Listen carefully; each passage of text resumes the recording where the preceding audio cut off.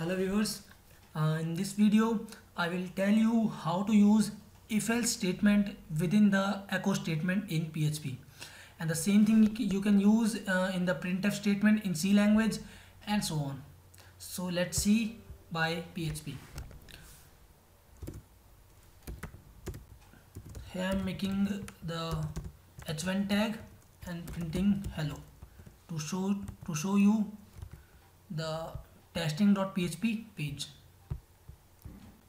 Here I'm going to refresh. And this is hello.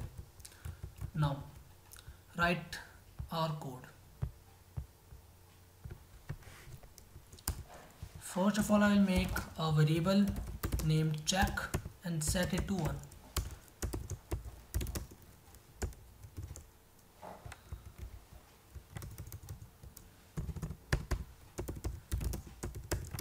now I will echo something here. Say hello world. And I'll do the same. I'm going to print it here. Hello world. So now what I have to do is use the if else statement within this echo statement. So uh, I will print what um, I will print uh, check sorry. Check is 1 when the check is 1 and check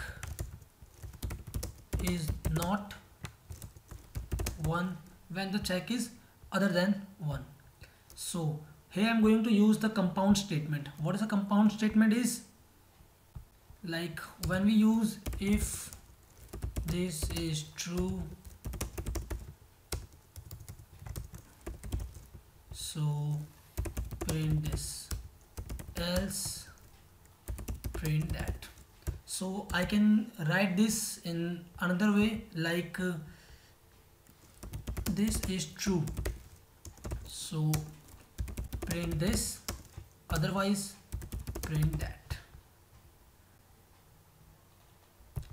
So if this is true this statement will be print. Otherwise this statement will be print so same thing I'm going to use in my these codes. So um, if check equal to 1 so print check is 1 and a colon for else.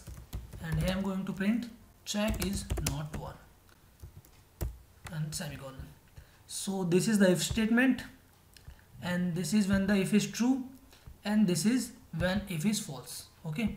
So in my case the check is equal to 1 so our output should be check is 1 so save it. It's already saved okay? Now I'm going to reload my web page.